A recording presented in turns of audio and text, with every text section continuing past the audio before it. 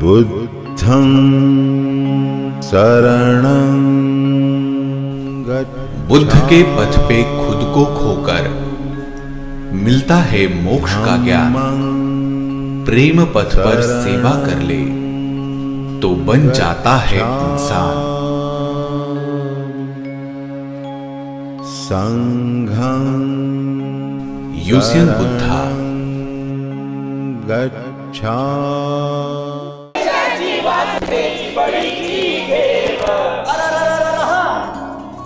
अरे म्हटलं देव बाबा बुवा अंधरुडी पडवा.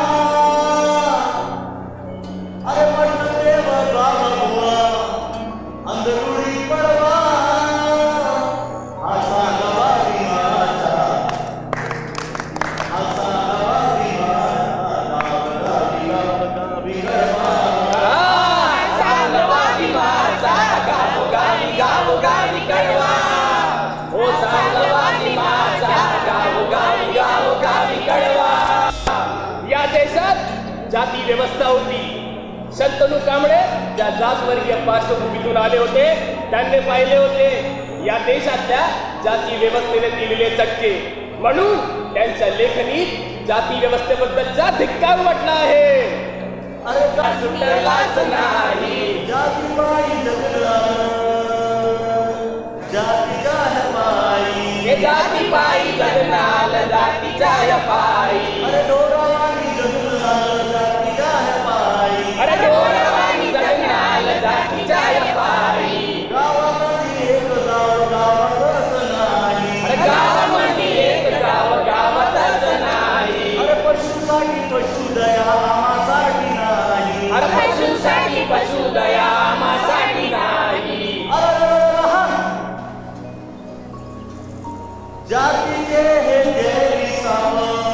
आजकाल फिरून राहिले आहे किडे किडे काय काय नावा द्यायचे अरे जातीचे हे देवी साव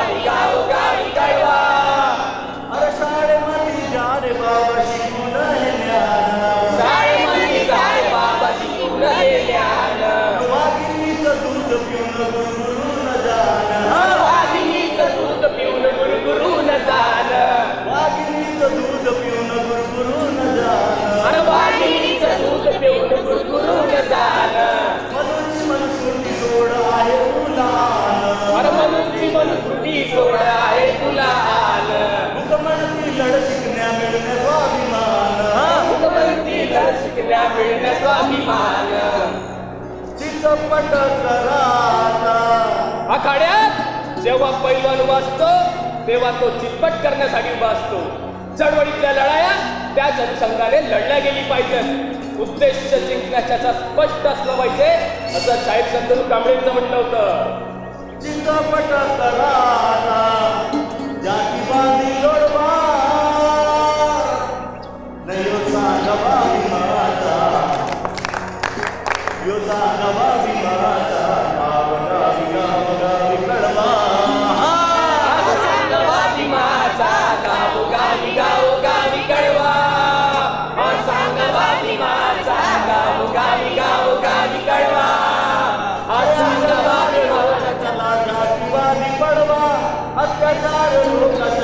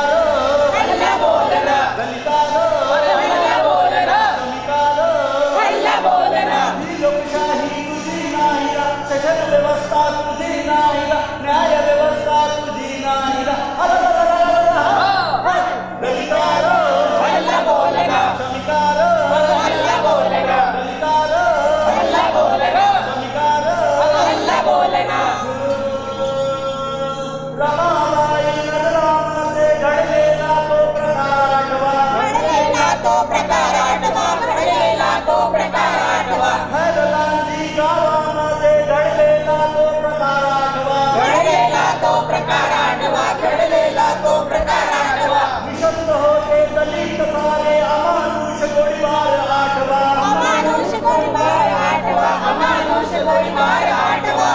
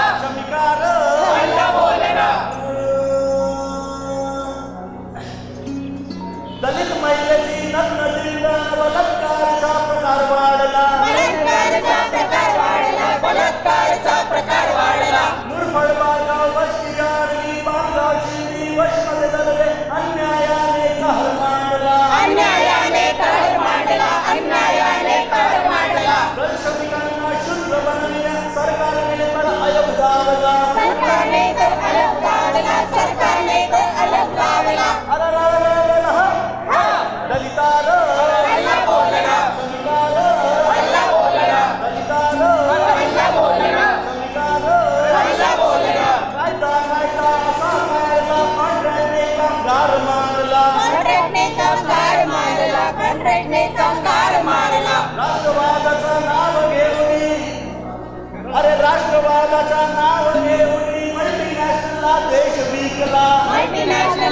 मल्टीनॅशनलला देश विकला मल्टीनॅशनलला देश विकला दर्शनिकांचा लढा चिरण्या युएव्हीए कायदा काढला. कायदा काढला युएव्हीए कायदा काढला. दर्शनिकांचा लढा चिरण्या पोटासारखा कायदा काढला. कोर्टासाठी कायदा काढला कोर्टासाठी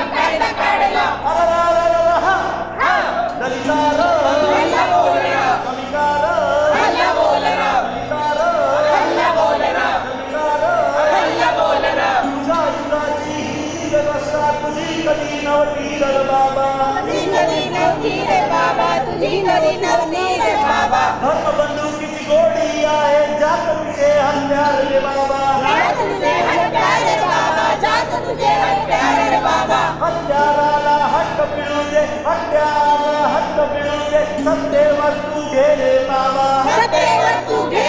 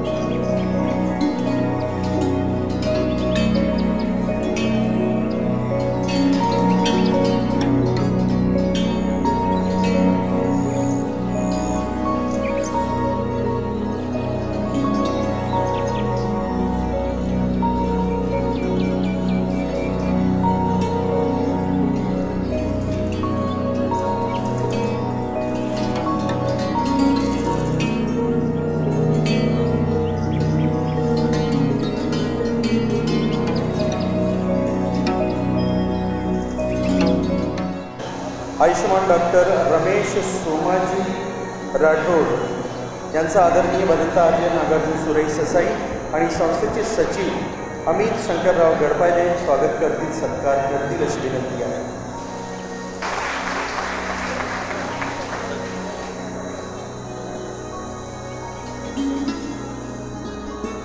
Of art and aesthetic Jawaharlal Nehru university नवी आयुष्मान डॉक्टर यशोदत्त सोमाजी अलोने यांचं स्वागत करतायत आनंद आदरणीय बदंत आर्य नागार्जुन सुरेई ससाई आणि संस्थेचे सचिव अमित शंकरराव गडपाई आजच्या कार्यक्रमाचे विशेष अतिथी the Buddhist society of India तथा भारतीय बौद्ध महासभेचे राष्ट्रीय अध्यक्ष आयुष्यमान राजरत्न अशोक आंबेडकर यांचं सुद्धा स्वागत आणि सत्कार करतील आदरणीय भदंत आर्य नागार्जुन सुरेई ससाई आणि संस्थेचे सचिव अमित शंकरराव गडपाई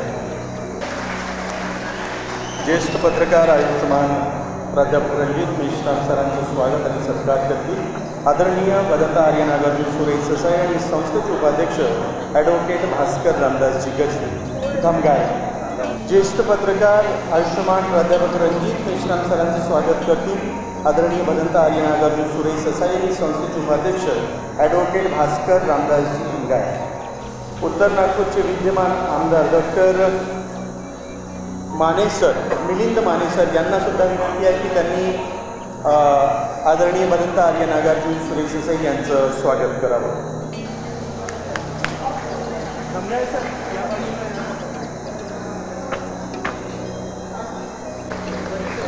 उत्तर नागपूरचे विद्यमान आमदार आयुष्यमान डॉक्टर मिलिंद माने यांचं स्वागत आणि सत्कार केला आहे भदंत आर्य नागार्जुन सुरेश देसाई यांनी. आणि आता विनंती आहे ज्येष्ठ पत्रकार आयुष्यमान प्राध्यापक रणजित मेश्राम स्वागत करण्यासाठी भदंत आर्य नागार्जुन सुरई ससाई आणि संस्थेचे उपाध्यक्ष ॲडव्होकेट भास्कर रामदासजी धमगाई यांना.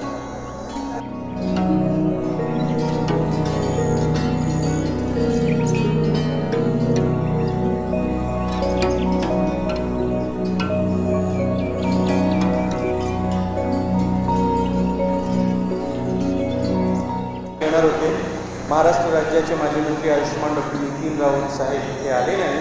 दिल्लीला काही काम असल्यामुळे ते गेले आहेत. परंतु त्यांच्या आयुष्यमती या ठिकाणी आलेले आहेत आम्ही त्यांचे सुद्धा या ठिकाणी सत्कार केलेला आहे. उशिरा झाला. सॉरी माफ करा. कारण भाऊ दिसले नाहीत म्हणून. आजच्या कार्यक्रमाचं प्रस्तावित करण्यासाठी मी विनंती करतोय अरुण नाटेरे भाऊंना. त्यांनी या ठिकाणी यावं प्रस्तावित. प्लीजमध्ये येऊ नका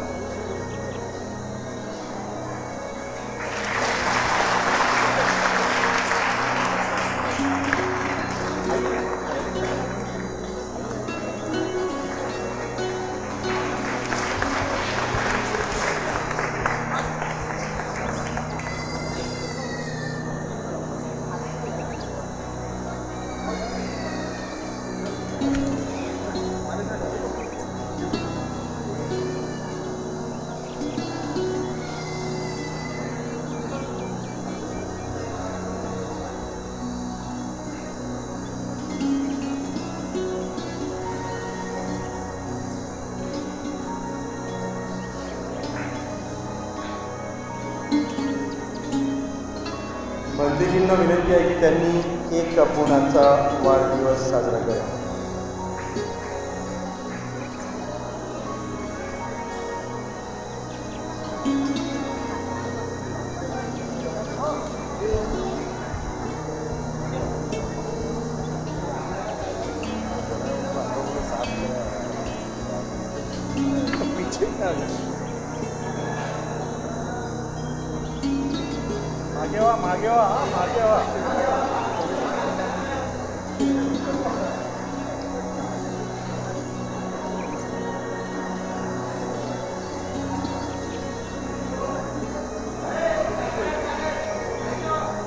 अरे एक साइड में हो जाओ. हॅलो हॅलो हे मध्ये येऊ नका कुणी. हॅलो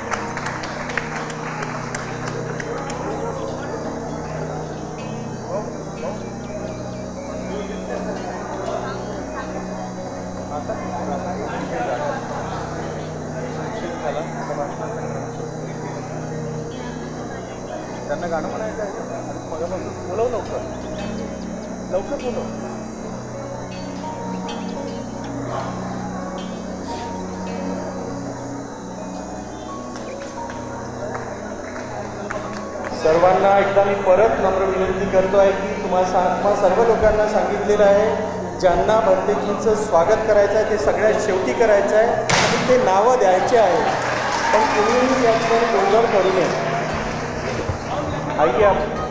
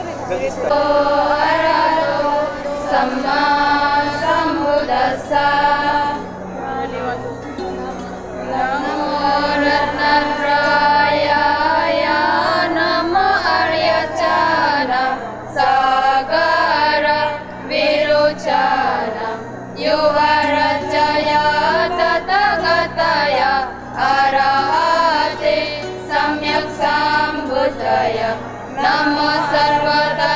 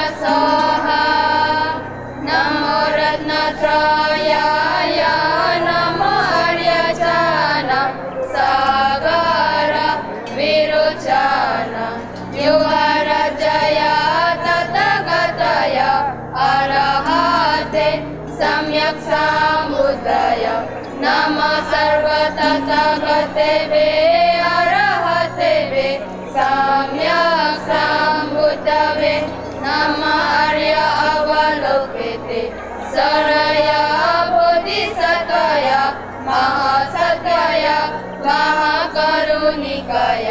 ताद्याता ॐ दर दर धीरे धीरे जुरु जुरु इति वे इति चले चाले प्रचाले प्रचाले कुसुमे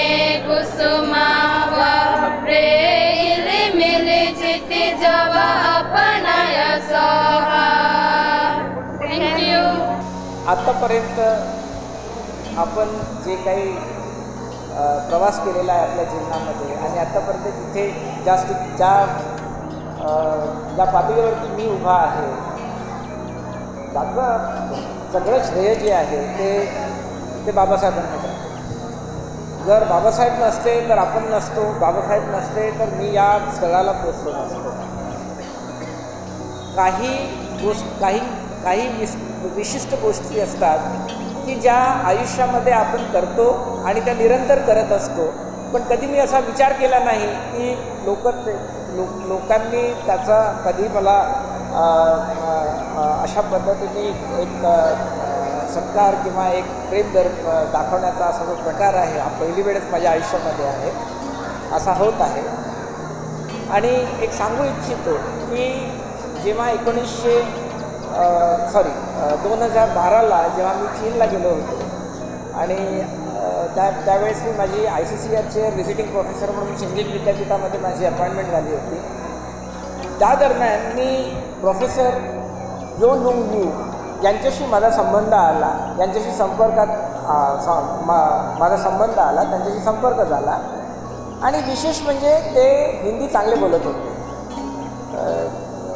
अरे I hope you people understand त्या प्रॉब्लेम हिंदी चांगले बोलत होते ते. तर त्यांनी बऱ्याचशा गोष्टी माझ्या वैयक्तिक जीवनामध्ये विचारल्या. आणि जेव्हा मी त्यांना सांगितलं की नाही मी सुद्धा एक भारताचा बौद्ध आहोत. आणि त्यांनी सरळ सरळ विचारलं की तुम्ही बाबासाहेबांचे बौद्ध बौद्ध अनुयायी आहे. मी म्हटलं हो. तर त्यांनी मला गळामिठी मारली.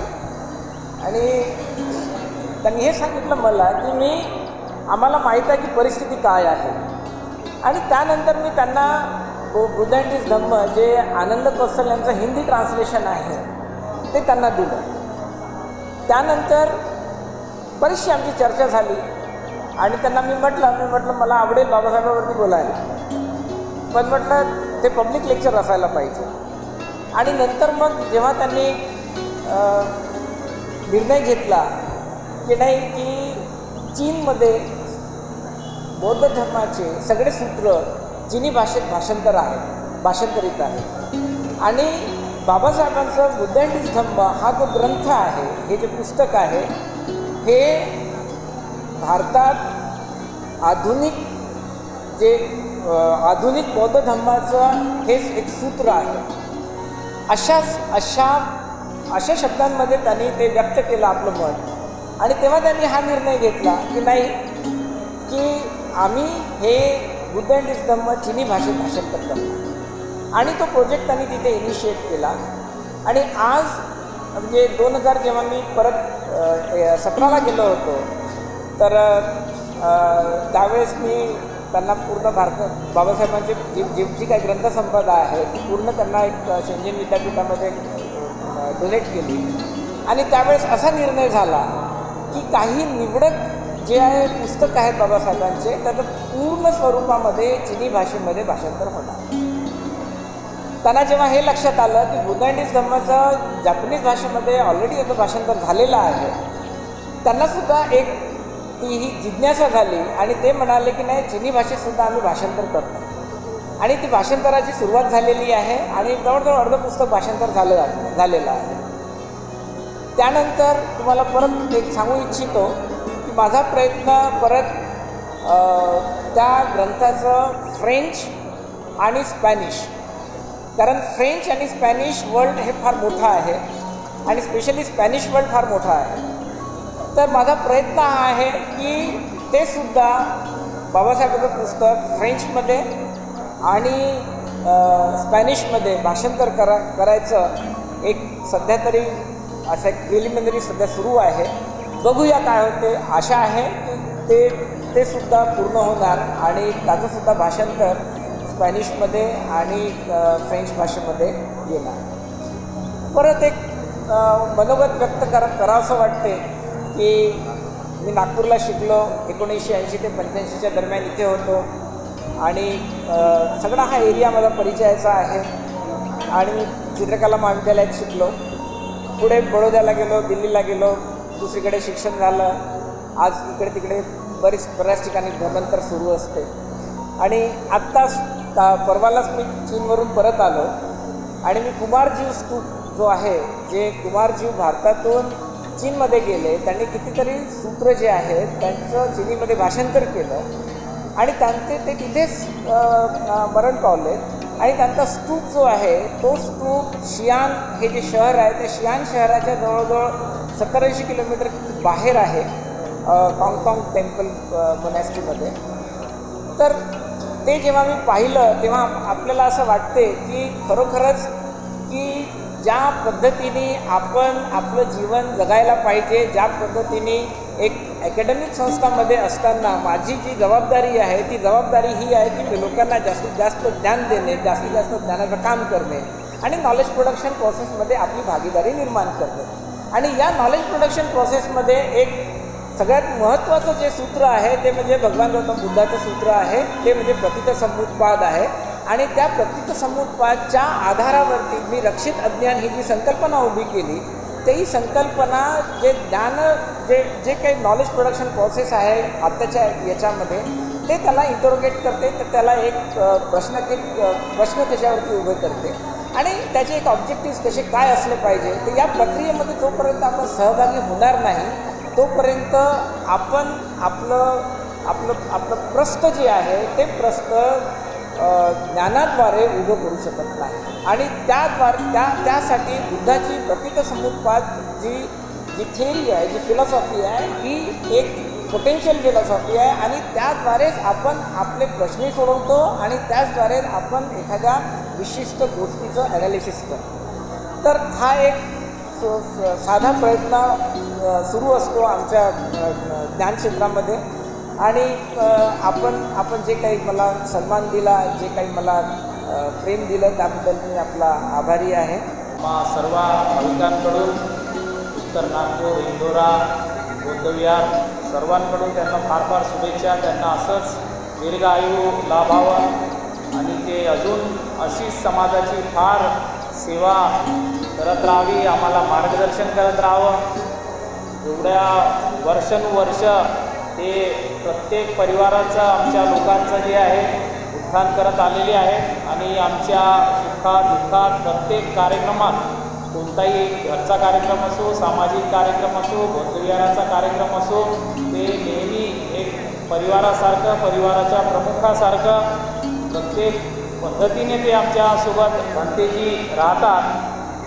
मी माझं स्वतःचंही उदाहरण तुम्हाला सांगतो. माझं नाव निलेश भरणे आहे. इथेच बाजूच्या गल्लीत राहतो. अमित जो आहे अमित गडपायले आणि मी आम्ही लहानपणापासून इथे सोबत खेळायचो. कच्छे जो तुमचा अध्यक्ष आहे कमिटीचा ते बाजूलाच. बंडू भरणे माझ्या वडिलांचं नाव आहे. माझे वडील आजोबा आम्ही सगळे पन्नास शंभर वर्ष इथे राहायचो. नंतर मी आय पी एस झालो. आय पी एस झाल्यावर सध्या मी इथे ॲडिशनल कमिशनर आहे.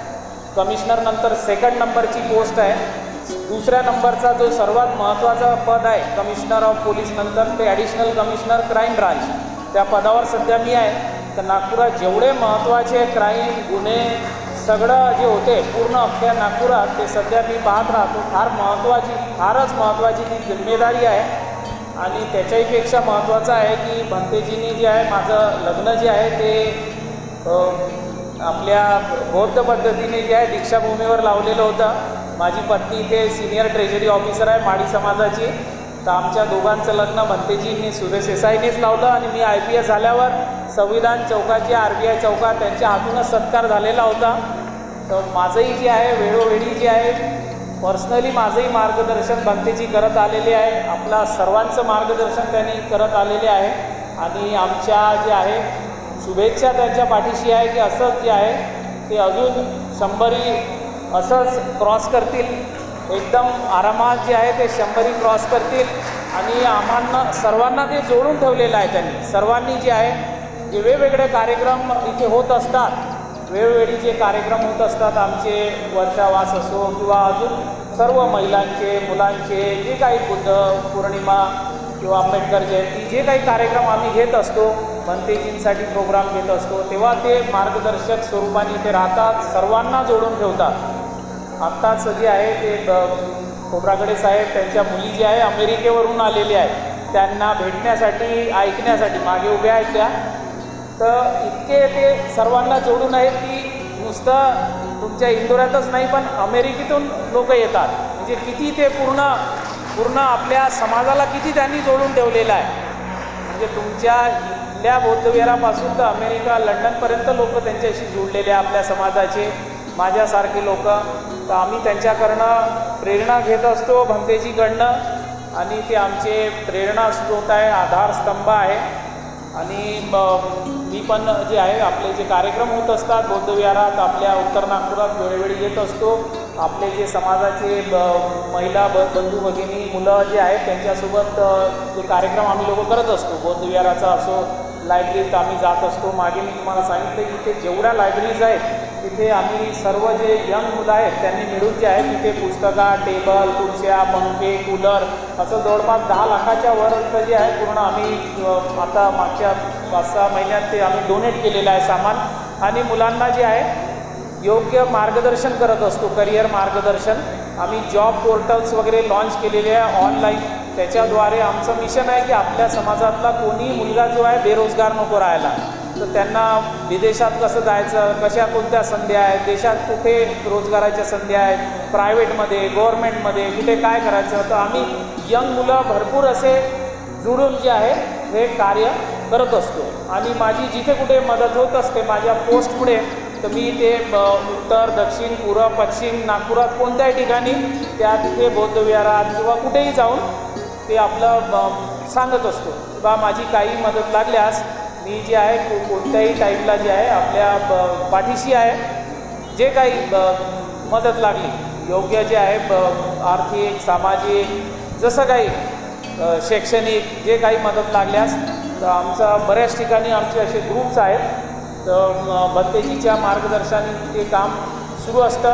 आपल्याला सुद्धा कधी असं काही मदत लागल्यास माझं नाव निलेश भरणे आहे. फार पूर्वी आम्ही वर्षानुवर्ष इथेच राहिलो आहे पण सध्या मी सिव्हिल लाईन्समध्ये घर आहे माझं सिव्हिल लाईन्सला. तिथे राहतो मी. पण आमची पोस्ट फार ट्रान्सफर होत असते. मागच्या पंधरा वर्षाची आहे मी. दिल्ली मुंबई उत्तराखंड देहरादून बऱ्याच ठिकाणी पोस्टिंग केलेले आहे. मागच्या दोन अडीच वर्षापासून नागपुरात पोस्ट आहे. कारण की I S I P S कधी एका ठिकाणी पोस्ट नाही राहू शकणार आपल्या शहरात तर कधीच नाही होत.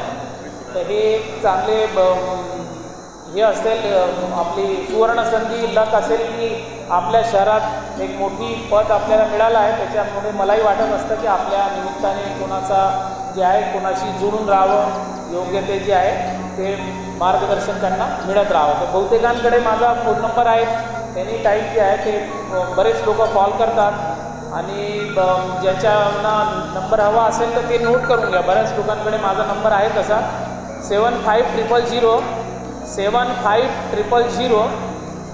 कधी तुम्हाला कोणाला इतर कोणाला पोलिसांबद्दल किंवा इतर सामाजिक कार्यात काही मदत लागल्यास संपर्क करावा. Seven five triple zero. One double six double six. पंच्याहत्तर हजार. एक.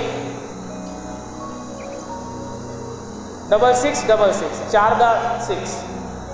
निलेश भरणे. तर एवढं बोलून मी आपले दोन शब्द संपवतो. मंचावर सर्व उपस्थित जेवढे अतिथीगण आहे आज या ब- शुभ कार्यानिमित्त सर्वांनी वेळ काढला. मान्यवरांनी भंतेजींच्या आशीर्वाद घेण्यासाठी त्यांना शुभेच्छा देण्यासाठी आम्ही सर्व हां पुन्हा number seven five triple zero seven five triple zero one double six double six. पंच्याहत्तर हजार एक. Double six double six. चार दहा सहा तर एवढा वेळ दिला तुम्ही माझं ऐकलं आणि भविष्यात जे आहे आपण असंच एक दुसऱ्यांशी सहकार्य करत राहू. आणि जे काही इश्यूज आपल्या समाजाला जे नवीन आव्हान येत राहतात. दिवसेंदिवस जे आहे आपलं ब- फार आपला समाज आहे जो एस सी एस टीला जे आहे रिप्रेझेंट करतो त्यांना मार्ग S C S T O B सीला सुद्धा आपण मार्गदर्शन देतो. बाबासाहेबांनी जे त्यावेळेला केलं तेच वारसा आजही आपला समाज त्याला चालवत आहे. ना आपल्या समाजातील मी माझ्यासारखे मंतेजींसारखे असे असंख्य लोक जे आहे आपण त्याला लीड करतो या समाजाला. आणि जे काही असे आव्हान येतात रोजगाराच्या स्वरूपात आरक्षणाच्या स्वरूपात प्रमोशनच्या स्वरूपात जे काही येत असतात तर ते आम्ही योग्य प्लॅटफॉर्मवर त्यांना लढा देत असतो. तर तुम्ही इथे बोलवलं इथे दोन शब्द माझे ऐकून घेतले. त्या नि- निमित्त सर्वांचे ब- फार फार धन्यवाद. आणि ब- भंतेजींसोबत समोरही मी असंच जुडून जुळून राहील आणि त्यांचे मार्गदर्शन जे आशीर्वाद प्राप्त होत राहील त्यानिमित्त त्यांचेही धन्यवाद. आणि ब- जे आहे अध्यक्ष आपल्या ब- इंदोरा बौद्धविहाराचे माझे मित्र अमित गडपायले त्यांनी मला बोलवलं. त्यानिमित्त त्यांचेही धन्यवाद. आणि सर्व महिला पंतेजी यांनाही हार्दिक धन्यवाद. भाई और बहनों हम तो कर्नाटक से आए सो है लेकिन हिंदी मेरा उतना अच्छा नहीं आते कन्नड़ा और इंग्लिश बोल सकते लेकिन थोड़ा थोड़ा कोशिश करके मैं हिंदी में दो बात करूँगा। ये इंदौर बुद्ध विहार का सार्वजनिक संस्था से पूज्य नागार्जुन बंती जी का जो एटी फिफ्थ का बर्थडे हो रहा है, कर्नाटक के तरफ़ से, हम सब तरफ़ से उसको मैं आभारी करता हूँ, बर्थडे विश भी हैप्पी बर्थडे और ये कार्यक्रम आयोजन के से जनरल सेक्रेटरी का, इस संस्था का अमित जी और ये कार्यक्रम निर्वहन ये कर रहे हमारा फ्रेंड अशोक जाम्बलकर जी और से स्टेट में बैठे हुए से राज्य रत्न अशोक अंबेडकर जी और अभी अभी अच्छा बात करके जो हमारा एसीपी पुलिस कमिश्नर है, वो रमेश बरनी जी और सभी ऊपर जो बैठे गण लोग, ये बहुत खुश का बात है ये पूज्य बंती जी का बर्थडे अवसर पर हमारे कर्नाटक से हमको चुनकर इधर बुलाकर मेरे को ये गौरव और सम्मान करे, ये संस्थे को मैं बार बार आभारी करता हूँ। और जो इंडिया में जो बुद्धिज़्म है, डॉक्टर बाबा साहब अंबेडकर आने के बाद एमडीस होने के बाद ये बुद्धिज़्म स्प्रेड हुए थे। उससे पहले ये हमारा देश पूरा बुद्धिज़्म था। लेकिन अब शंकराचार्य आकर ये पूरा बुद्धिज़्म को भगाकर इधर फिर हिंदुज़्म लाए सो है। फिर अभी इस अवसर पर देश में क्या हो रहा है, ये जो समाज है, समाज का असमानता व्यवस्था है सोसाइटी है, ये सोसाइटी डिस्ट्रॉय करने का रीबिल्ड करने का डॉक्टर बाबा साहब अंबेडकर जो मूवमेंट किए थे, वो मूवमेंट को आगे आगे लेके चलने का हम कर्नाटक में गया तीस साल से हम काम करते आ रहे हैं। लेकिन ये ऐसी ये बात है, लेकिन अब बहुत देश का सामने बहुत सेंसिटिव का है। लेकिन देश में सेकुलर सेकुलरिज्म ख़त्म हो रहा है और कम्युनलिज्म ला रहा है। और देश में और एक बार मोदी जी जो अधिकार में आने के बाद हर जगह पर, हर ये देश पे, हर कोने कोने पर ये दलित, ये लोगों का ऊपर अत्याचार हो दौर्जन्य हो रहे और बाबा साहब अंबेडकर का स्टैचू भी वो डिस्ट्रॉय कर रहा है। लेकिन हम, ये सवाल का, ये सोचने का टर्म है। लेकिन सत्तर साल पहले हम तो बात भी नहीं करते थे। क्या होता क्या नहीं बोल के, ये सत्तर साल होने के बाद बात करने को सोच रहे, बात कर रहे, आग, लेकिन वो रुकाने के लिए काम नहीं हो रहा है। इसलिए ये देश में जो जो मूवमेंट चला रहे, जो जो अच्छे हैं, जो सेकुलरिज्म लोग हैं, वो सभी मिलकर इसको रोकना है, देश को बचना है, संविधान को बचना है। डॉक्टर बाबा साहब अंबेडकर का सिद्धांत आगे लाने के है। सेकुलरिज्म एंड सोशलिज्म ये इंडिया देश में लाने के है इसीलिए यहाँ का ये महाराष्ट्र में हमारे कर्नाटक से पहले दलित पैंथर्स बहुत स्ट्रांग था। लेकिन अब नहीं है बहुत टुकड़े हुए सो है। और कर्नाटक में भी दलित संघर्ष समिति भी ऐसी टुकड़े हुए से है।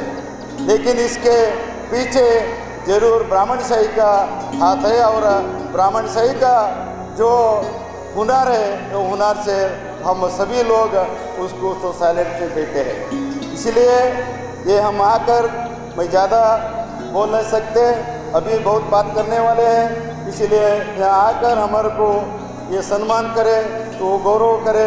इसलिए संस्था को, आप सबको तो ये अभिनंदन करके मैं दो बात ख़त्म करता हूँ तथागत भगवान गौतम बुद्ध, बोधिसत्व डॉक्टर बाबा साहब आंबेडकर आज ज्यांचा आपण पंच्याऐंशीवा वाढदिवस साजरा करतो आहे ते आदरणीय बनते सुरेश ससई आपण सर्व मान्यवर मंडळी आणि या ठिकाणी जे प्रमुख सत्कार मूर्तीजी हरणे साहेब आहेत अलोणे साहेब आहेत सागर सरदार साहेब आहेत राजरतन आंबेडकर साहेब आहेत. मला तुम्हाला काही छोटीशी काही प्रश्न विचारायचे आहेत. मी सार्वजनिक ओबीसी धम्मदीक्षा समारोह समितीचा अध्यक्ष आहे. मी ओबीसीमध्ये जातो आणि ओबीसींना सांगतो की आपण धम्माकडे जाऊया. तेव्हा ते लोक म्हणतात की ज्याप्रमाणे ब्राह्मण हे आपले मंत्र संस्कृतमध्ये म्हणतात त्याचा मंत्र आम्हाला काही समजत नाही. तसंच जे आमचे धम्म बांधव आहे बुद्ध बांधव आहे ते पालीमध्ये काय म्हणतात ते आम्हाला कळतच नाही. त्यांचं पालीमध्ये बोलत असताना ते म्हणतात पानातिपादा वेरमणी. ते जर म्हणाले की बाबा हिंसाचार करणे हे चुकीचं आहे तर आम्हाला कळेल. त्याचबरोबर ते जे म्हणतात की मुसावादा वेरमणी हे मुसावादा काय आहेत हे आम्हाला कळतच नाही तर मला माझ्या धम्म बांधवांना सांगायचं आहे.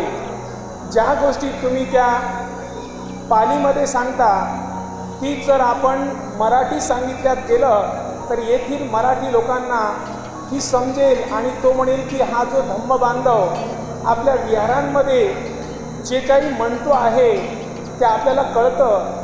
कारण पाली भाषा ही काही लोकांना कळतं पाली भाषा पूर्ण लोकांना कळत नाही. त्यामुळे तुम्ही जर या धम्माचा प्रचार प्रसार सर्व लोकात व्हावं असं वाटत असेल आज एवढ्या मोठ्या महान व्यक्तीचा जन्मदिवस आहे. यामध्ये किती ओबीसी लोक असतील?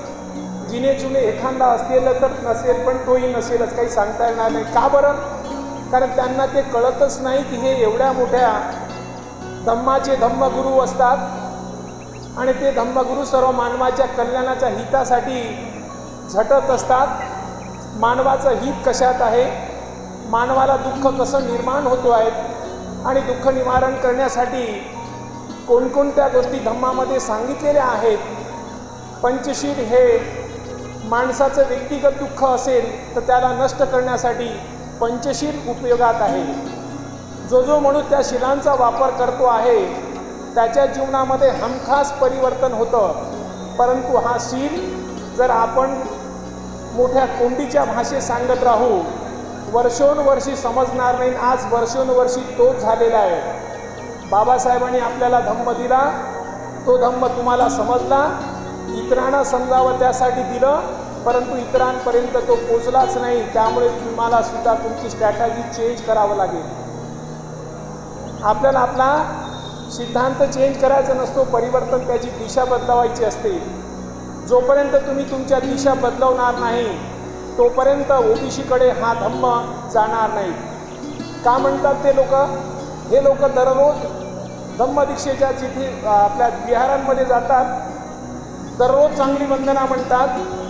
आणि आपल्या घरी येतात आणि पुन्हा ते लोक तसेच वागतात. त्यांच्या वागण्यामध्ये कुठेच बदल दिसत नाही कारण आणि धम्म दीक्षा घेतली धम्म हा दररोज आचरणात आणलेला आहे असं कशावरून समजायचं? म्हणून जेव्हा मला तुम्हाला ते सांगायचं आहे की आपण जेव्हा धम्माचं आचरण केल्यानंतर धम्म आपल्यात रुजलाच पाहिजे. धम्म जर आपल्या धम्म बांधवात रुजलेला नसेल तर इतर ओबीसी बांधवांना सांगता येणार नाही. म्हणून मला तुम्हाला सर्वांना आग्राची विनंती आहे कारण तुम्ही आमचे अतिशय आदर्श व्यक्ती आहात. कारण या ठिकाणी सर्वात प्रथम या भारतातून धम्म नाहीशा झाल्यानंतर बाबासाहेबांनी तो आपल्याला दिला. आणि बाबासाहेबाला दिल्यानंतर ज्या ज्या लोकांनी धम्म स्वीकार केला त्यांच्या जीवनामध्ये शंभर टक्के परिवर्तन झालं. हाच परिवर्तन इतर लोक बघतात त्यांना वाटतं की आपणही सुद्धा या परिवर्तनाच्या वाटेने जाऊ आणि परिवर्तन करू. मित्र हो धम्म आपण एका मिलिंद प्रश्नांमध्ये मिलिंदला प्रश्न करतात म्हणजे मिलिंद विचारतो नागसेनला तर नागसेन धर्माचा रास कसा होतो? जोपर्यंत त्या धर्माचे प्रचारक प्रसारक चांगल्या प्रकारे वाकपट्टू नसतील. धम्माचा बेद चांगला नसेल जो कोणी धर्म असेल त्या धर्माचा बेत चांगला नसेल. चांगले वाकपट्टू प्रचारक त्याचे नसतील तर तो धम्म रसातळाला जातो आहे. एवढा मोठा चांगला धम्म आम्हाला मिळालेला आहे. तुमच्या मिळालेल्या धम्मामुळे आम्ही ओबीसी वर्गसुद्धा तुमच्या वाटेने येत आहोत. परंतु तुम्हाला तुमची स्ट्रॅटजी चेंज करावं लागेल तरच ओबीसीकडे हा धम्म तेवढ्या प्रमाणात वळला जाईल.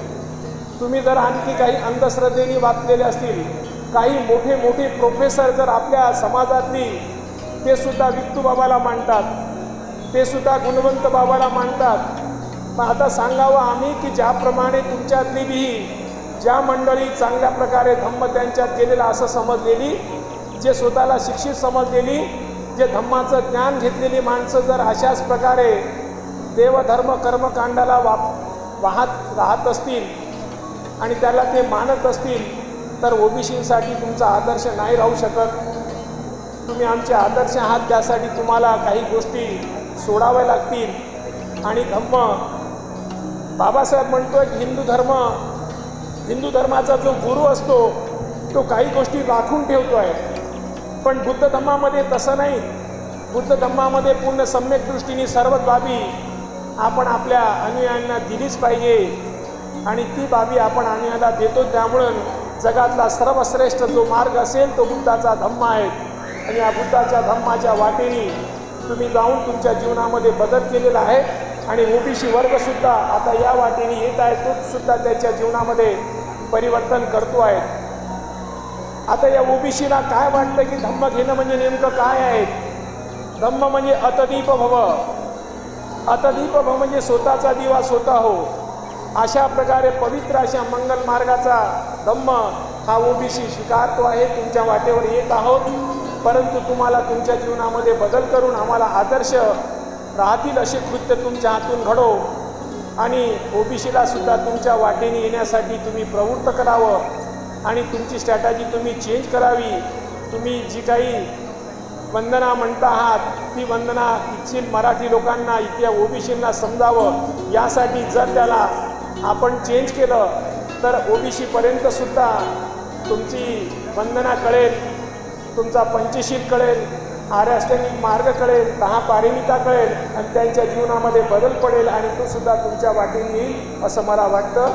मी गणपतीच्या वाढदिवसांना शुभेच्छा देतो आणि माझे दोन शब्द संपवले गेले तथा भगवान परमपूज्य डॉक्टर बाबासाहेब आंबेडकर यांच्या विचारांना प्रथम अभिवादन. आज इंदुरा विद्याविहार सार्वजनिक संस्थेच्या वतीने आदरणीय मोंटेश्वरी ससन यांचा पंच्याऐंशीवा वाढदिवस साजरा होत आहे.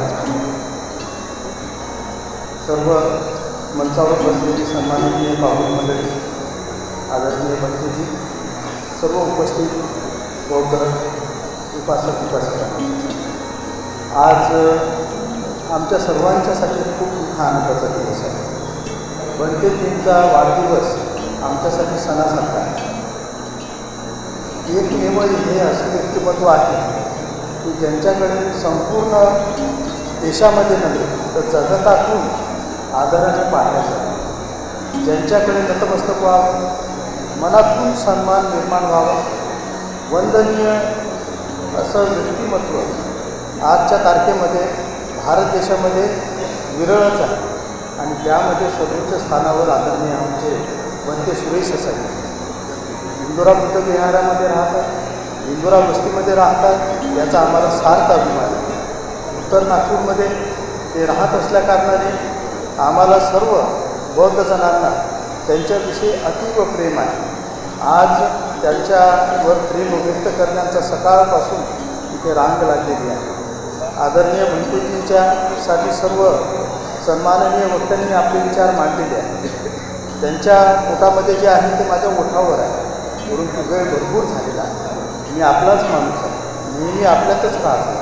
आणि आपल्याशी सदैव भेटत राहतो. म्हणून खूप काही लांबलचक भाषण न देता मी संपूर्ण उत्तर नागपूरच्या जनतेच्या वतीने माझ्या कुटुंबाच्या वतीने आदरणीय भंतेजी त्यांना जन्मदिवसाच्या निमित्ताने हार्दिक हार्दिक शुभकामना देतो आणि माझ्या शब्दांना विराम देतो. जय व्यासपीठावर हजर असलेले आमचे आदरणीय मित्र भारतीय बौद्ध महासभेचे अध्यक्ष मान्यवर राजरत्न आंबेडकर.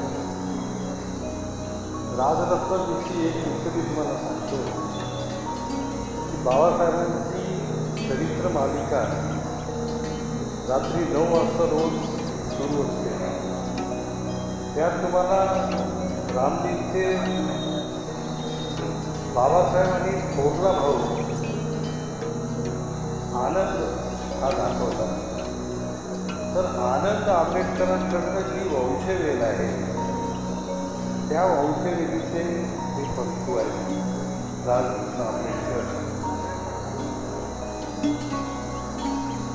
मला आनंद झाला की या कार्यक्रमामध्ये विलेज भरणे यांना बोलावलं. अनेक वर्षापूर्वीचा तो काळ आठवला की पोलीस उपायुक्त निलेश भरणे यांचे वडील आनंद भरणे अतिशय गौरववंत व्यक्तित्व लाल चौकाची जी रांग आहे त्याच्या शेवटी गोंडाऱ्यांच्या घराजवळ ते राहायचे? आज पोलीस उपायुक्त निलेश भरले यांचा इतका सत्कार इथे झालेला मला आनंद झाला. मला याचाही आनंद आहे की उत्तर नागपूरचे आमदार डॉक्टर नितीन माने आणि त्यापूर्वीचे आमदार नितीन राऊत. नितीन राऊत तर आले नाही त्यांच्या पत्नी आल्या. नितीन माने इथे आले. नितीन राऊतांच्या पत्नींनीही आशीर्वाद मागितला. दिलीप माने यांनीही भक्तीजींना आशीर्वाद मागितला. दोघांनाही भक्तीजी आशीर्वाद दिला. आता कोणाला आशीर्वाद मिळतो ते मला सांगा.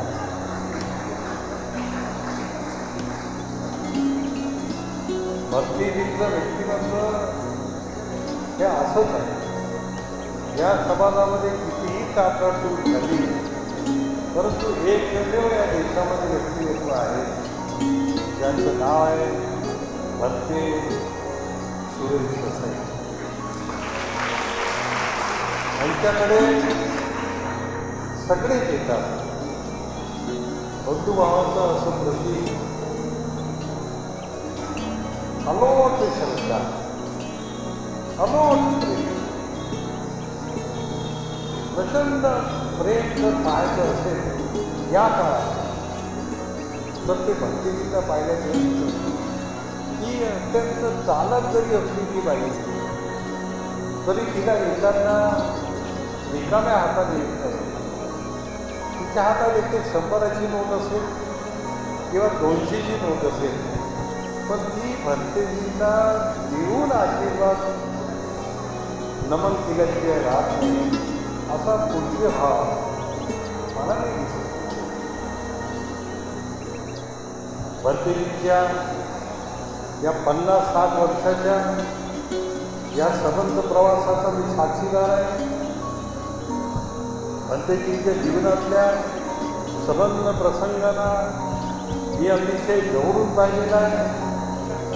आत्या चढत्या क्रमानं अनेक कष्ट सोसून अनेक विरोधाभास सोसून केवळ बौद्धांचं प्रेम म्हणून केवळ बाबासाहेब आंबेडकरांची निष्ठा आघात ठेवून त्यांनी स्वपरिश्रमानं त्या हत्तीचं स्थान प्राप्त केलं. या पूज्य भंतेजींच्या जीवनात काही प्रसंग असे आहेत की जे माझ्याशी पहिल्या क्रमांकाने जोडलेले आहे एक प्रसंग सांगावा असा वाटतो. मी लोकमतला होतो. ती पत्रकारिता वस्त्यान वस्त्यांमध्ये पोहोचवत होतो. ही बालकाशी घर घातली. आहे त्याचं नाव सुरेश नागपूर आहे. खूप प्रसिद्ध नाही. पण तुम्हाला जे टी व्हीला जशी टी आर पी जशी आज असते तुम्हाला जर या लोकमतचा खप अजून वाजवायचा असेल माझ्या मनातली श्रद्धा वेगळी होती. मारवाडी मालकाला काय सांगावं? त्याची ही तेवढीशी छोटीशी अक्कल मला होती. मला म्हणते गमत स्टोरी करायची एकोणीसशे पंच्याऐंशी वगैरेचा जो काळ असेल. तिकडे करोड स्टोरी रविवारच्या साहित्य जत्रेची पूर्ण लागतात माझा या भक्तीच्या मुलाच्या जर आपण पूर्ण छापलं अनेक लोकांना माहिती नाही आहे ते जापानवरून आले कसे यांचा प्रवास कसा काय घडलं तिथे जपानमध्ये हेच कसे भारतामध्ये आले काय किमय आहे अशी कोणती अशी ती गोष्ट घडली? की हे भारतातच आले कोणती अशी गोष्ट घडली? की हे नागपुरातच आले कोणती अशी किमय अशी घडली? हे उत्तर नागपुरातच आले काही ते अशा माझं तर्क असेल कथा असेल. मालकाला आणि काय लिहिलं साहित्य जत्रेच्या पहिल्या मानावर भंतेजींचा पूर्ण फोटो. भंतेजींच्या जीवनाची प्रचंड मोठी कवर स्टोरी तेव्हा भंतेजी नागपूरच्या बाहेर फारसे एवढे माहिती नव्हते. आज अख्ख भारत भारताच्या ही बाहेर. भंतेजींना न ओळखणारा असा कोणीच नाही आहे पण तो काळ असा होता. माझ्याही पत्रकारितेच्या दृष्टीने ती दृष्टी होती ही एक महनीय व्यक्ती आहे. आणि भंतीजींच्या विषयीची ती कवच स्टोरी प्रचंड गाजली घराघरात. भंतीजी कसे आले? भंतेजींना स्वप्न कसं पडलं काय वगैरे ही कथा नंतर त्यांच्या जीवनचरित्रातही लोकांनी घेतली. भंतेजी सांगत होते मी ऐकत होतो मनात ठेवत होतो नंतर लिहून घेतलं कवर स्टोरी लिहिली पण माझ्याही मनात एक असा बिंदू राहायचा की भगवंता जे गाव मला हे सांगतात. ज्या निंबी गावाचं हे मला वारंवार उल्लेख सांगतात ज्या आईचा उल्लेख सांगतात ज्या मामाचा उल्लेख सांगतात ते मला कधी पाहायला मिळेल का? आणि म्हणते त्याच आशीर्वादानं एकोणीसशे शहाण्णवला आजपासनं वीस बावीस वर्षापूर्वीची ती गोष्ट आहे मी जेव्हा स्टोरी केली ही नव्वदची गोष्ट होती. त्यांनी मला यांच्या प्रयत्नाने मी जपानला जाऊ शकलो. परंतु त्या तेवीस दिवसाच्या कार्यक्रमामध्ये मी त्यांना एक अट टाकली. मी तुमच्या कार्यक्रमाला येईन सहा शहरांमध्ये तुम्ही व्याख्यानं ठेवली ती करेन पण माझी एक अट आहे की भंतेच्या जन्मगावामध्ये जर मला तुम्ही घेऊन जात असाल तर मी येईन आणि ती अट त्यांनी मांडली. तिचं हातपाय चांगले सुरक्षित राहू द्यावं. मंत्रीनुसार आम्ही काय. तुम्हाला मनोमन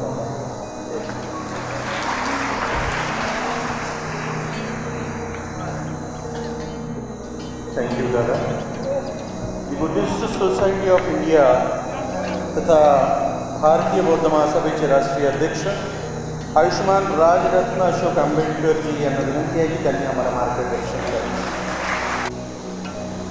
विश्ववंदनीय प्रधान समेत संबोध प्रियदर्शी राजा अखिल सम्राट सम्राट अशोक बोधिसत्व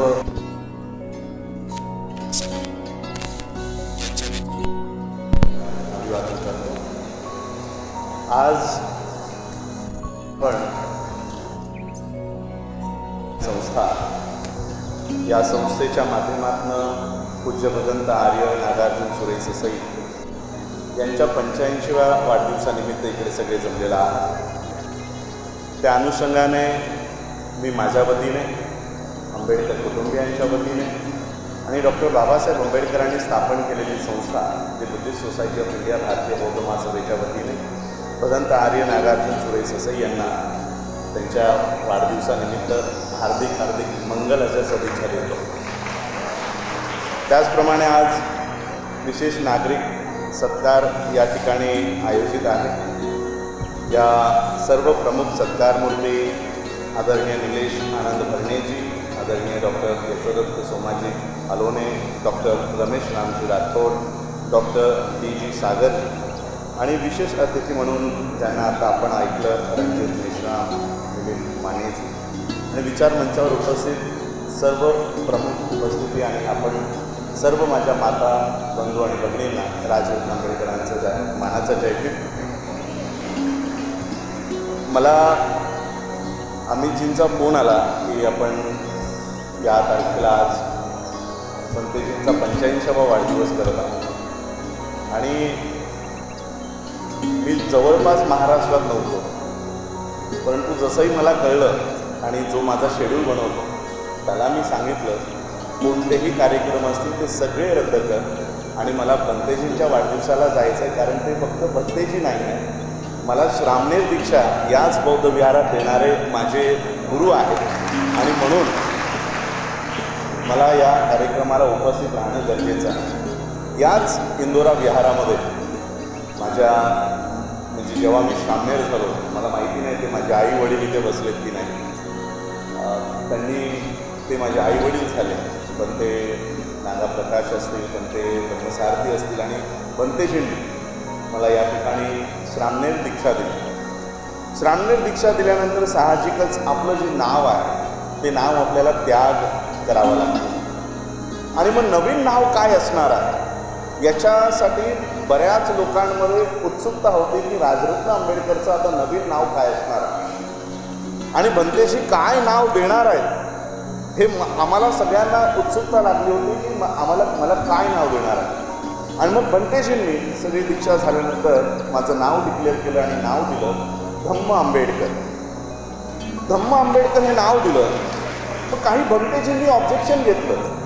बनतेजी बनतेजींना विचारलं बनतेजी हे धम्म तर ठीक आहे. की आंबेडकर क्या आहे? कारण एकदा रामनेर झाल्यानंतर तुम्हाला तुमचं आडनावही ठेवता येत नाही. म्हणून भंतेजींना काही भंतेजींनी प्रश्न केला की भंतेजी धम्म हे नाव तुम्ही दिलं ते ठीक आहे पण हे आंबेडकर काय दिलं? मग भंतेजींनी सांगितलं आंबेडकर आता त्याचं आडनाव नाही आहे. आंबेडकर हे मी त्याला नाव दिलं आहे आणि धम्म आंबेडकर असं एकच नाव त्याला दिलं आहे कारण या देशामध्ये धम्म आणि आंबेडकर या दोघांनाही या देशामध्ये जमीन त्यां त्यांच्या भाषेमध्ये की जमीन मे दबार आहे. धम्म को भी और अंबेडकर को भी दोनों को दबा रहा है और तुमको धम्म और अंबेडकर दोनों को ऊपर लाना है। धम्म और अंबेडकर दोनों को ऊपर लाना है। भंतेजींचं ते वाक्य आजही मला त्याची प्रचिती येत असते। कारण या देशामध्ये धम्म आणि आंबेडकर या दोघांनाही दाबण्याचं काम सुरू आहे. याची प्रचिती मला नेहमी येत असते आणि भारताच्या बाहेर येत असते. मागची व्हिएतनामची कॉन्फरन्स व्हिएतनामला त्या ठिकाणी माझा पेपर सिलेक्ट झाला म्हणून मला ॲज अ डेलिगेट तिकडे बोलावलं होतं. जवळजवळ एकशे पंचवीस देश बौद्ध राष्ट्र त्या ठिकाणी आणि त्यांची सगळी स्कॉलर्स तिकडे उपस्थित. एवढ्या देशाच्या समोर भारतातनं बौद्ध धर्माचं नेतृत्व कोण करत होतं? भारतातनं बौद्ध धर्मावर कोण बोलत होतं? तर या देशाचा उपराष्ट्रपती व्यंकय्या नायडू. व्यंकय्या नायडू सारखा प त्या साऊथ साईडचा केरळ आणि त्या साईडचा ब्राह्मण तो बाहेर जाऊन व्हिएतनामसारख्या देशात जाऊन एका बौद्ध राष्ट्रामध्ये जाऊन जिथे एकशे पंचवीस बौद्ध राष्ट्र उपस्थित आहेत त्यांच्यासमोर जाऊन बौद्ध धर्मावर भाषण करतोय. आणि काय सांगतो तिकडे की भारत बौद्ध राष्ट्र आहे. हा व्यंकय्या नायडू भारताच्या बाहेर जाऊन सांगतो की भारत बौद्ध राष्ट्र आहे पण तोच व्यंकय्या नायडू भारतात आल्यावर त्याची ऑफिशियल स्टेटमेंट आहे की प्रत्येक गावात आम्ही रामराज्य स्थापन करू बघा किती विरोधाभास आहे की भारतात आल्यानंतर तुम्हाला भारतात रामराज्य स्थापन करायचं आहे आणि भारताच्या बाहेर गेल्यानंतर तुम्ही भारताला बौद्ध राष्ट्र म्हणता?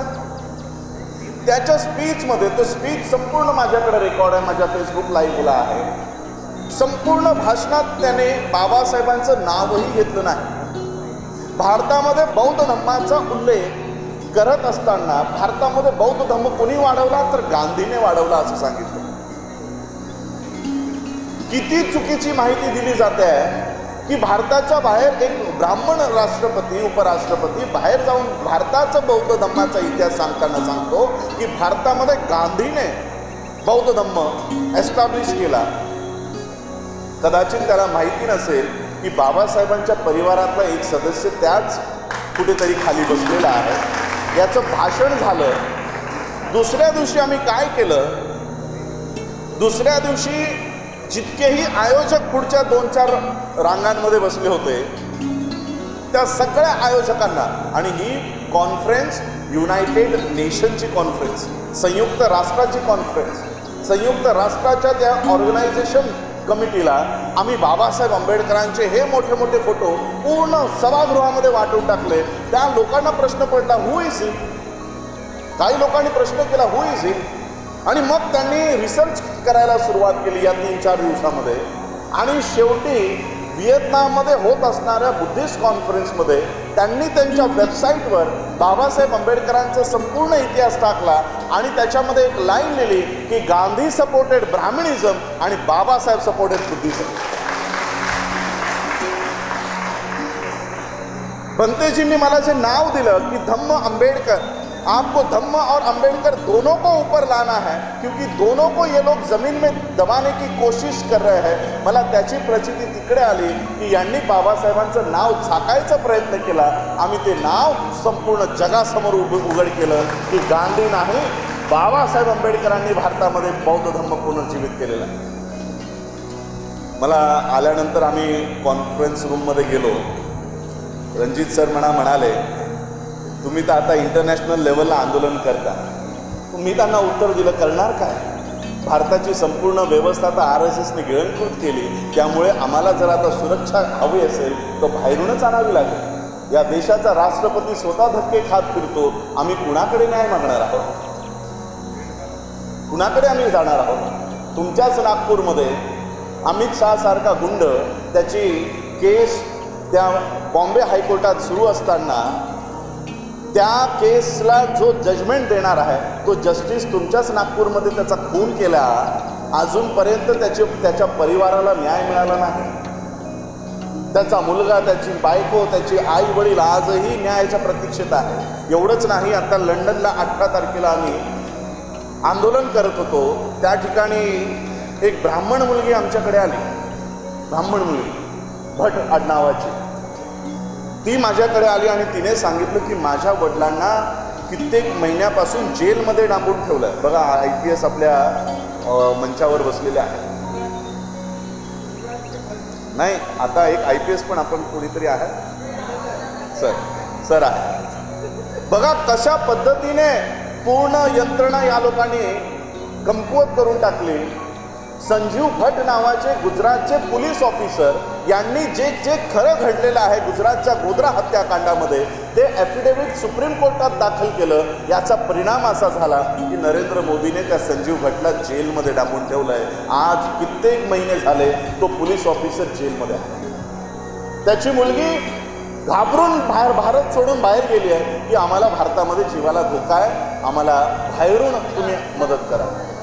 म्हणजे भारताची संपूर्ण व्यवस्था या लोकांनी नष्ट करून टाकली. आम्ही कुणाकडे न्याय मागणार आहोत? आणि म्हणून मी तुम्हा लोकांना सांगू इच्छितो इतक्या वर्ष आपण बाबासाहेब आंबेडकरांना दलित लीडर म्हणून बनवून ठेवलेला पॉलिटिकल लीडर म्हणून प्रेझेंट करत बसलेलो आहोत. पॉलिटिक्सचा अनुभव मीही घेतलेला आहे.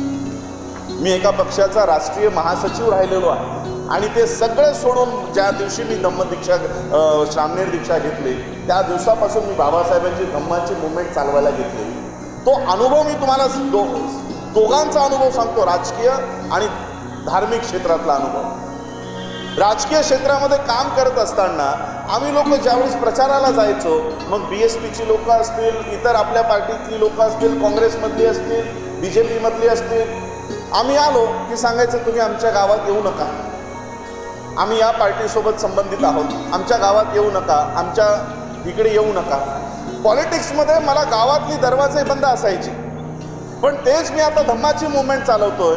गाव सडा मला पूर्ण विश्वाचे दरवाजे उघडे झालेले आहेत. इतका मोठा फरक या धम्माच्या मुवमेंटचा आहे. म्हणून मी तुम्हा लोकांना सांगतो बाबासाहेब आंबेडकरांना आपण इतक्या वर्ष एक राजकीय नेता म्हणून प्रेझेंट केलं. दलित नेता म्हणून प्रेझेंट केलं. आता आपल्याला बाबासाहेब आंबेडकरांना काही वर्ष जर तुम्ही बाबासाहेब आंबेडकरांना बौद्धिसत्व म्हणून जर प्रेझेंट केलं की बाबासाहेब आंबेडकरांनी भारतामध्ये बौद्ध धम्माला पुनर्जीवित केलेलं आहे ते बौद्धिसत्व आहेत ते एका धम्माचे इकडे पुनर्जीवित करणारे एक खूप मोठे नेते आहेत. अशा पद्धतीने जर आपण बाबासाहेबांना प्रेझेंट केलं संपूर्ण बौद्ध राष्ट्र या देशाच्या पाठीशी खंबीरपणा उभा राहील इतकी ताकद या धर्मामध्ये आहे. आणि हीच ताकद कमकुवत करण्याचं काम आर एस एस आणि बी जे पी करते आहे. त्यांना माहीत आहे की आता तुमचं पॉलिटिक्स तर आम्ही संपवलं आहे तुमचं राजकारण आम्ही संपून टाकलं आहे तुम स्वतः टाइम्स ऑफ इंडियाचा सर्वे आहे.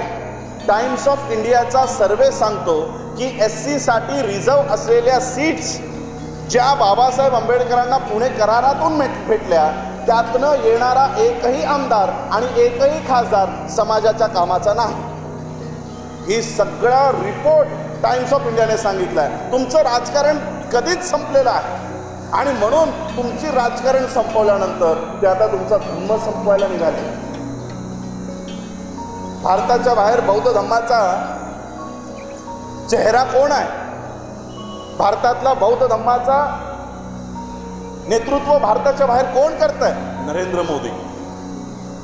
भारताच्या बाहेर जाऊन सांगतो की मी भारतचा आया हो भारत बौद्ध राष्ट्र आहे. करोडोने अब्जोने पैसा भारतात आणलाय. बहु बुद्धाच्या नावाखाली आलेला पैसा हा ब्राह्मणी व्यवस्थेला मजबूत करायला लावला. सगळी ब्राह्मणी व्यवस्था मजबूत. हा योगी आदित्यनाथ हा योगी आदित्यनाथ तुम्ही कधी त्याला जर बघितला असेल तर तो भगव्या कपड्यांमध्ये असतो. आणि ब्राह्मणिकल सिस्टम बघा बौ बौद्ध भिक्खूंच्या डोक्यावर केस नसतात. त्या योगी आदित्यनाथाच्याही डोक्यावर केस नाही आहे चला तू ब्राह्मण आहेस ब्राह्मण धर्मगुरू असशील तर ती शेंडी ब्राह्मण ठेवतात ना? ती शेंडी हा ठेवत नाही. पूर्ण विश्वाला काय सांगितलंय माहीत आहे? हा एक बौद्ध भिक्खू आहे आणि एक बौद्ध भिक्खू पहिल्यांदा भारताचा सीएम झालाय अशा पद्धतीने ही माहिती संप संपूर्ण बौद्ध राष्ट्रांना दिलेली आहे. इतक्या खोट्या प्रमाणात बौद्ध धम्मामध्ये घुसपेट होण्याचं काम सुरू झालेलं आहे. आणि म्हणून मी तुम्हाला सांगतो तुम्ही जर तुमचा धम्म मजबूत ठेवला नाही त्याला जर नीट ठेवलं नाही तर ही लोक याच्यामध्ये घुसायला तयार आहेत. घुसत चाललेली आहे आणि म्हणून आपला हा धम्म बाबासाहेब आंबेडकरांनी ज्या हेतूने आपल्याला दिलेला आहे. बाबासाहेब एकच स्पीच म्हणते बुद्ध आणि धम्माच्या प्रिफेसमध्ये लिहितात काय बुद्धिझमचा हेतू फक्त विपश्यना आहे का? बाबासाहेब म्हणतात की बुद्धिझम फक्त विपशन आहे का? त्याचा काही सामाजिक न सोशल मेसेज नाही आहे आणि म्हणून तो सोशल मेसेज काय आहे? तो सामाजिक संदेश काय आहे? तो आपल्याला ओळखला पाहिजे. आणि बुद्धिझमला त्या सोशल मेसेजसाठी त्या सोशल जस्टिससाठी सामाजिक न्यायाचं आंदोलन आम्हाला या बुद्धिझमच्या माध्यमातून केलं पाहिजे. जापानसारखा देश मी जापानला आता आमचे प्रज्वलित मोडगरे सर आहे या ठिकाणी उपस्थित आहेत. जापानचे लोक आहेत. जापानमध्ये वर्ल्ड फेलोशिप ऑफ बुद्धिस्टमध्ये मी बंतेजींकडे आलो. बंतेजींना मी सांगितलं, बंतेजी बुद्धिस्ट सोसाइटी ऑफ़ इंडिया को बहुत बड़ा धोखा है। इसमें आरएसएस के लोग घुसना चाह रहे हैं। इसमें बीजेपी के लोग घुसना चाह रहे हैं। चैरिटी कमिश्नर में उन्होंने अपने अपने चेंज रिपोर्ट डाले हैं और पूरा बीजेपी, पूरा आरएसएस इसमें घुसने को तैयार है। आपको इसको बचाना है। आपको इसको बचाना है। होकार दिला। आणि आजपर पर्यंत ते बुद्धिस्ट सोसायटी ऑफ़ इंडियाचे संरक्षक म्हणून पण काम करतायत. आम्हाला वाचवण्याचं कामही बनते. नागार्जुन सुरेश असंही करतायत बनते जी, आपको शायद पता नहीं होगा. लेकिन ये जो आरएसएस के लोग हैं, ये जो बीजेपी के लोग हैं, मैं इतने खुलेआम बीजेपी और आरएसएस के ऊपर बोलता हूँ, फिर भी मेरे बाल को भी ये लोग धक्का नहीं पहुँचा सकते। इसके पीछे एक बहुत बड़ा कारण आप भी हो। क्योंकि उनको पता है ये बनते सुरय ससई से जुड़े हुए लोग हैं। ये इनके शिष्य है इनको हम कुछ नहीं कर सकते। आणि एक खूप मोठी ताकद धर्माच्या माध्यमातून आमच्या पाठीशी उभी आहे. बुद्धिस्ट सोसायटी ऑफ इंडिया ज्यावेळेस खूप अडचणीच्या काळात होती त्यावेळेस पंतेजींनी आम्हाला साथ दिली. आणि हीच बुद्धिस्ट सोसायटी ऑफ इंडिया ज्यावेळेस बाबासाहेब आंबेडकरांनी स्थापन केली वर्ल्ड फेलोशिप ऑफ बुद्धिस्टसोबत तिला जोडून ठेवलं. बनतेजींनी आम्हाला साथ दिला सहयोग केला. तीच बुद्धिस्ट सोसायटी ऑफ इंडिया दोन हजार सतराला पुन्हा आम्ही वर्ल्ड फेलोशिप ऑफ बुद्धिस्टसोबत जोडलं. आणि एकोणतीसाव्या कॉन्फरन्सला ज्या दिवशी मी जापानला गेलो अशाच मोठा भला मोठा स्टेज त्याच्यावरनं मी प्रेझेंटेशन केलं. संपूर्ण भारताची परिस्थिती मी जगातनं आलेल्या बौद्धांना समजून सांगितली. समजून सांगितल्यानंतर माझं प्रेझेंटेशन त्यांनी बघितल्यानंतर ते त्यांना आवडल्यानंतर फेलोशिप बुद्धिस्टने मला त्यांच्या स्टँडिंग कमिटीवर सेक्रेटरी पदावर त्यांनी मला नियुक्त केलं. इतकी मोठी ताकद आज धर्माच्या माध्यमातून आम्ही उभी केली. संपूर्ण जितकेही बौद्ध राष्ट्र आहेत त्या सगळ्या बौद्ध राष्ट्रांकडे जाऊन आम्हाला ते नातं जोडलं पाहिजे. आज आम्ही इथे इंदोराच्या ठिकाणी आहोत. या नागपूरमध्ये आहोत. पण नागपूरच्या बौद्धांसोबत काय होतं आहे हे कदाचित इतर जिल्ह्याच्या लोकांना माहिती नसेल. आणि म्हणून एक नातं आपल्याला संपूर्ण जगासोबत जोडायचं आहे बाबासाहेब आंबेडकरांनी दिलेल्या या संघटना आहेत यालाही वाढवायचं आहे आणि बंतेजींनी एक खूप मोठं आंदोलन या देशामध्ये केलं. बंतेजी बंतेजींचा मुद्दा बौद्धगयाचं जे आंदोलन त्यांनी उभं केलं. बघा बौद्धगयाचं आंदोलन बऱ्याच लोकांना माहिती नाही. ख्रिश्चनांचे चर्च जसे ख्रिश्चन फादरच्या ताब्यात असतात मुसलमानांचे मशिदी जशा मुसलमानांच्या ताब्यात असतात शिखांचे गुरुद्वारे जसे शिखांच्या ताब्यात असतात पण आपलं बौद्ध गया हे अजूनही बौद्धांच्या ताब्यात नाही. तिथे ब्राह्मण मॅनेजमेंटवर आहे. चार ब्राह्मण चार बुद्धिस्ट एक कलेक्टर अशा पद्धतीने आम्हाला कसलाही निर्णय घेता येत नाही. आणि ब बनतेजींचं ते आंदोलन मी वर्ल्ड फेलोशिप ऑफ बुद्धिस्टच्या स्टेजवर मांडलं आणि बौद्ध गयाचा इतिहास तिकडे सांगितला आणि सांगितलं की बौद्ध गयाचा मुक्ती करण्याचंही काम आम्हाला केलं पाहिजे. आणि म्हणून एक दुसरा मार्ग आम्ही शोधून काढला आहे united states inter commission on international religious freedom नावाची युनायटेड नेशनची एक संस्था आहे जी तुमच्या धार्मिक विषयांवर हस्तक्षेप करते आणि भारताला प्रे प्रेशराईज करते की भारतामध्ये जो कोणी धार्मिक रित्या दगावला गेलेला आहे दुखावला गेलेला आहे त्याला तुम्ही मदत केली पाहिजे. हा मुद्दा भंतेजींचं आंदोलन आम्ही युनायटेड स्टेट्सच्या त्या पटलावरही नेणार आहोत.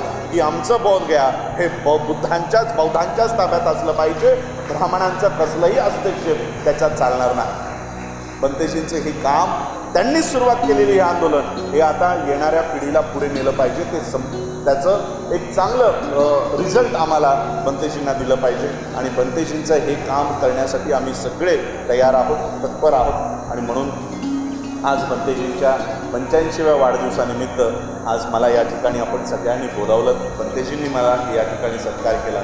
ही माझ्यासाठी खूप मोठी गोष्ट आहे की मी त्यांचा शिष्य आहे आणि सामनेर त्यांच्याकडनं झालं. आणि त्यांच्याकडनं माझा सत्कार व्हावा हे माझ्यासाठी खूप मोठी आनंदाची बाब आहे. आज इंदोरा बुद्धविहार सार्वजनिक संस्था या समितीने मला या ठिकाणी आमंत्रित केलं.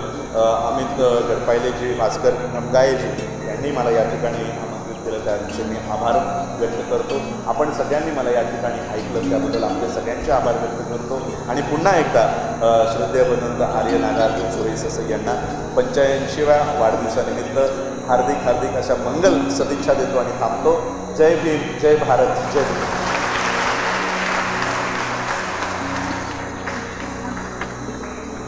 आपल्यासमोर स्टेज संचालन जे करत आहे आकाशवाणी नागपूरचे उद्घोषक अशोक जांभूळकर यांचं स्वागत. अमित गटपायले आणि पूजनीय भदंत आणि नागातून सुरेशसही करतील अशी मी त्यांना विनंती करतो. आयुष्यमान अशोक कोल्हाटकर यांचे स्वागत अमित गटपायले आणि बंदीजी करतील असून मी त्यांना विनंती करतो.